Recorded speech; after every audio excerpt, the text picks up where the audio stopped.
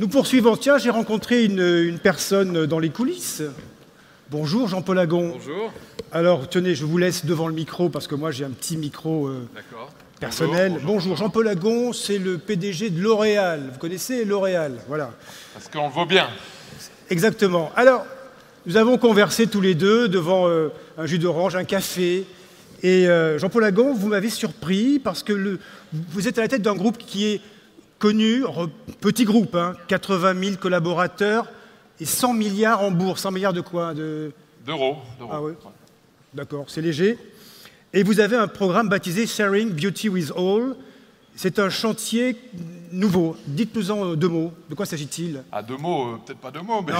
c'est- en fait, c'est euh, en fait de, de la révolution positive, euh, effectivement, euh, qu'on a démarré il y a, euh, il y a déjà euh, trois ans. Alors, dans ma doc, on me dit que l'ONG Carbon Disclosure vous a donné le, le triple A, hein, c'est la, bonne, Ouais, la super ouais, note ouais. suprême, euh, dans trois domaines protection du climat, gestion durable de l'eau et lutte contre la déforestation. Rappelez-moi euh, ce que fait L'Oréal, ça n'a rien à voir. Bah, si, c'est l'utilisation des ressources pour les papiers, pour, pour les cartons, pour, dans tous les domaines. Alors, bien compris. Donc, Jean-Paul Agon, je vais Oui. vous laisser la parole.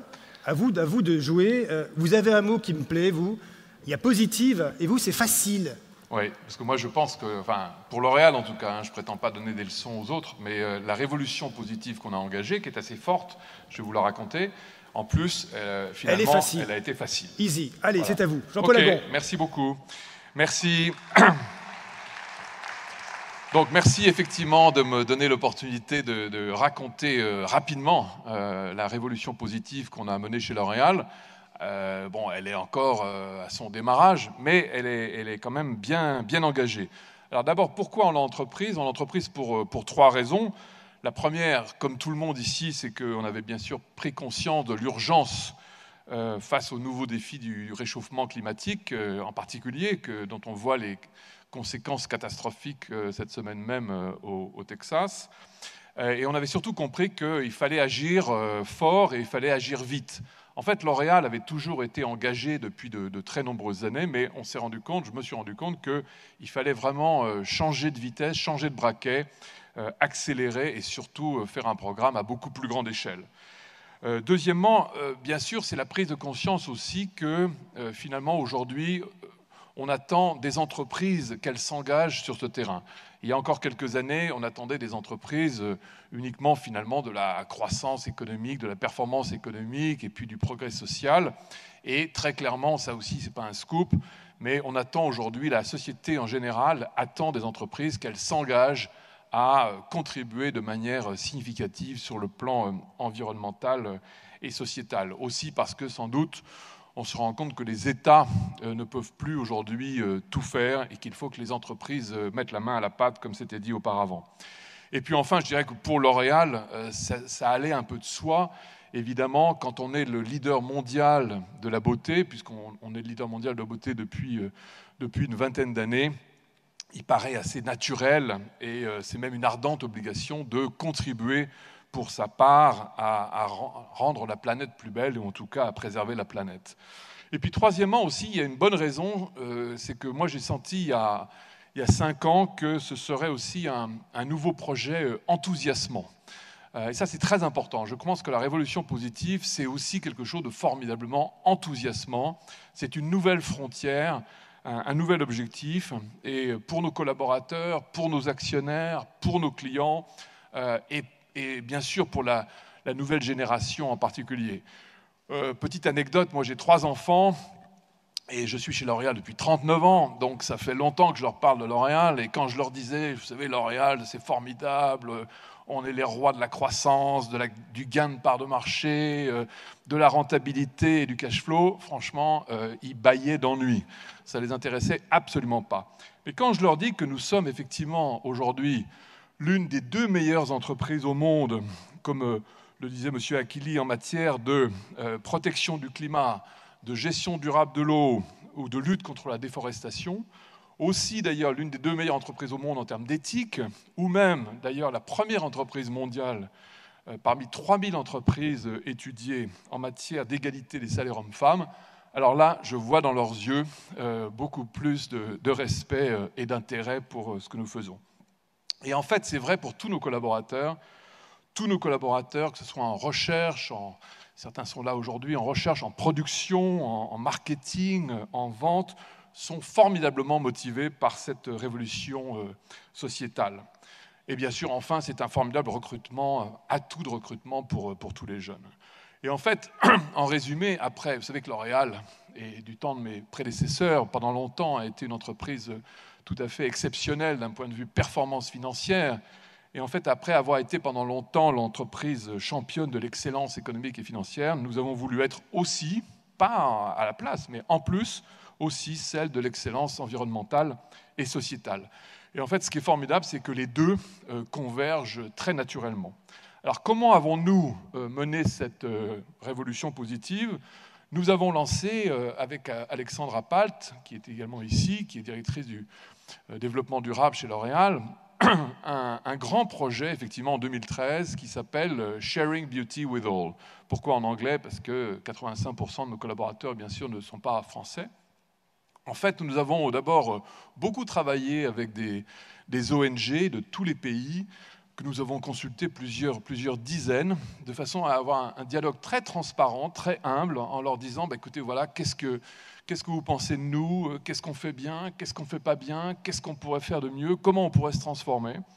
Et euh, on a rassemblé tout ce travail et on a donc monté ce, ce projet, et qui est un projet très ambitieux qui couvre toute la chaîne de valeur. Euh, et en fait, ce programme euh, est, fait de, commitment, de, résolution, d'engagement à, l'horizon 2020. Dans plusieurs domaines, vous allez voir, qui sont très concrets et en même temps très ambitieux.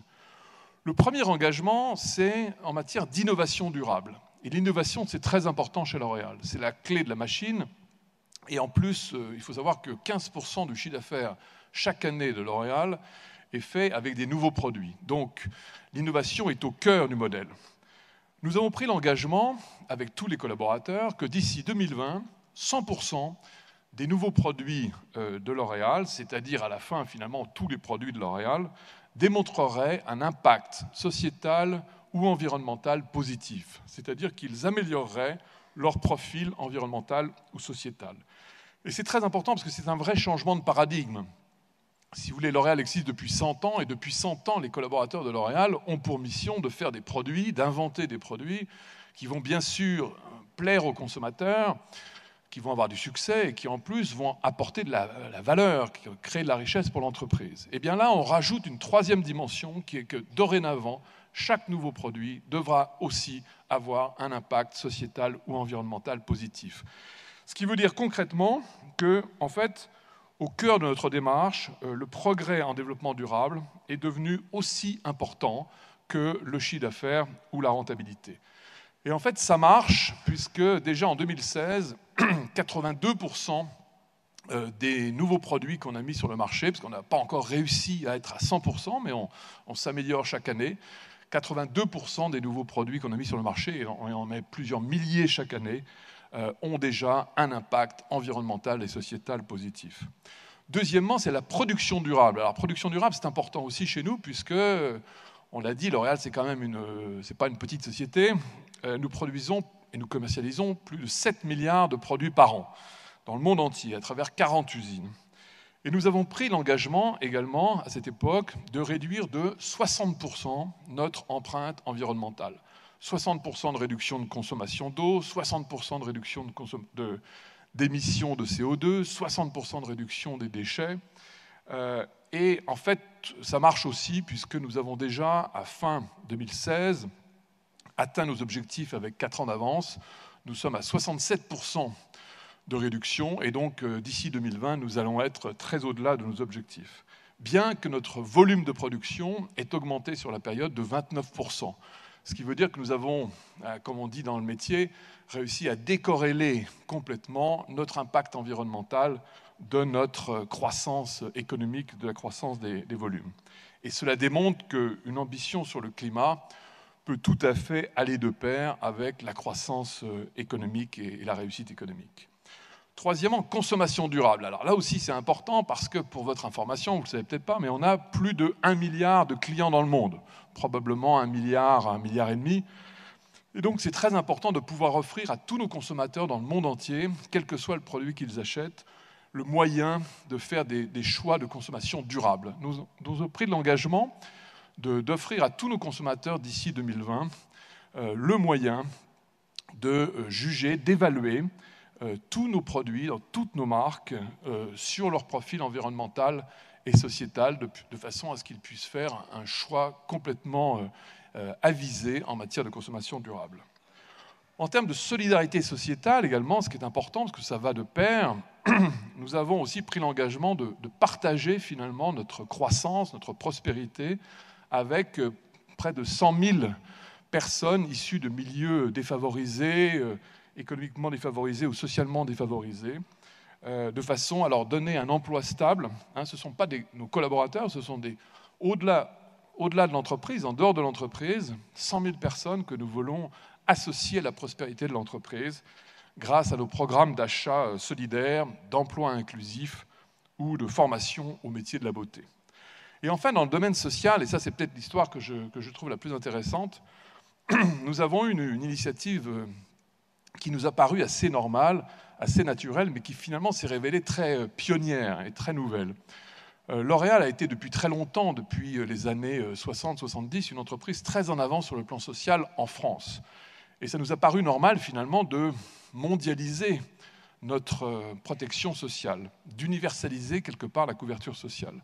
Et donc nous avons lancé un plan qui s'appelle Share and Care, qui consiste tout simplement, parce que c'est pas du tout du, ça a l'air euh, l'offre de Christophe Colomb, tout simplement d'offrir à tous nos collaborateurs dans tous les pays du monde, quels qu'ils soient, euh, le meilleur de la couverture sociale en matière de prévoyance, de protection santé et de protection sociale en général.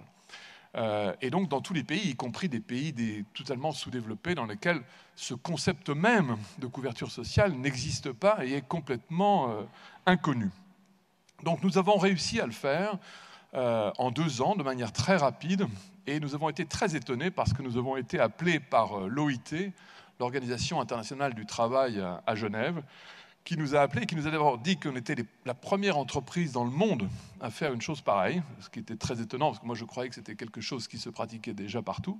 Et en fait non, L'Oréal a été la première entreprise à mettre en œuvre cette couverture sociale universelle euh, et qui nous a aussi demandé de venir à Genève pour euh, présenter ce, projet, ce programme même, à euh, beaucoup d'autres entreprises afin de montrer le chemin. Donc sur tous ces projets, comme je vous le disais, on a aussi travaillé en totale transparence avec les ONG.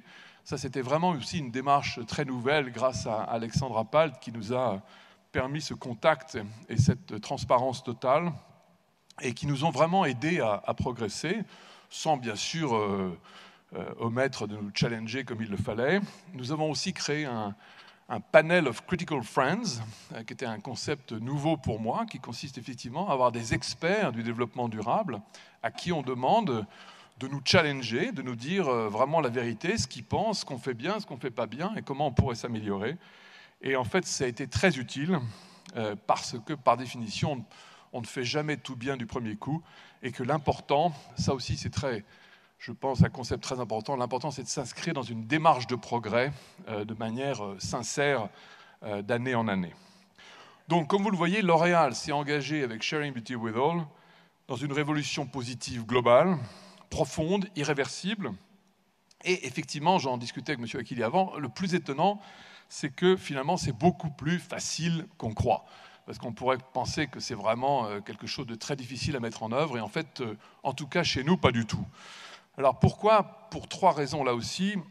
La première, c'est qu'effectivement, comme je vous le disais, un programme de ce genre suscite en interne un enthousiasme et une adhésion absolument euh, incroyable.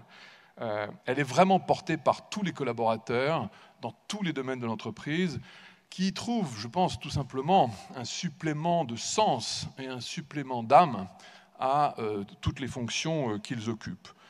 Deuxièmement, il faut dire aussi que technologiquement, les solutions existent aujourd'hui, que ce soit en matière de recherche, en matière industrielle ou en matière digitale, pour accomplir des progrès considérables très rapidement. Et enfin, troisièmement, euh, cerise sur le gâteau, parce que le coût de ces transformations, en tout cas là aussi pour L'Oréal, est contrairement à ce qu'on pourrait croire, extrêmement raisonnable et même très marginal par rapport à l'impact positif économique que l'entreprise peut en retirer. Donc il n'y a franchement aucune raison de ne pas s'engager dans cette révolution positive. Et pour la réussir et la mener à bien, je crois qu'il y a tout simplement euh, deux choses nécessaires. Comme pour toute révolution peut-être, euh, il faut surtout de la conviction et de la détermination. Alors la conviction, euh, elle est contagieuse, elle doit partir bien sûr du, patron de l'entreprise et de la direction du développement durable et du comité exécutif du groupe, et elle se propage, je dirais, de manière rapide et facile, parce que comme je vous le disais, tous les collaborateurs ont envie d'y adhérer et d'y exceller. Et par contre, la détermination, elle, elle doit être organisée. Euh, chez L'Oréal, euh, tous les objectifs de développement durable sont inscrits dans les objectifs personnels euh, des managers. c'est le cas pour moi, c'est le cas pour les patrons de division, des patrons de marque, des patrons de pays, de tous les managers qui ont des responsabilités importantes. Et bien évidemment, les bonus de fin d'année euh, pour tous ces managers tiennent compte des euh, résultats en matière de euh, développement durable, de, performance sociétale et environnementale. deuxièmement, en ce qui concerne les progrès, on sait très bien qu'on ne, ne, progresse que sur ce qu'on mesure, donc les progrès sont très mesurés, très rigoureusement. Ils sont vérifiés par les commissaires aux comptes, ils sont présentés au comité d'audit de L'Oréal et ils sont publiés dans un rapport d'avancement qui est joint chaque année au rapport annuel. Donc, comme vous le voyez, la révolution positive euh, euh, a bien démarré, elle est bien partie chez L'Oréal. Sa première phase est en voie d'être euh, bientôt achevée d'ici 2020 avec, avec, je crois, avec succès. elle nous donne bien sûr l'envie et l'ambition d'aller beaucoup plus loin, puisqu'il faut être aussi clair, ce n'est qu'un début. ce n'est qu'un début, il reste encore énormément à faire et énormément d'autres grandes transformations euh, à accomplir. Et par exemple, après la, maîtrise du développement durable, la grande aventure de, l'impact positif. Euh, mais ça, c'est une prochaine étape et je vous en parlerai peut-être euh, une prochaine fois. Merci beaucoup. Merci. Merci.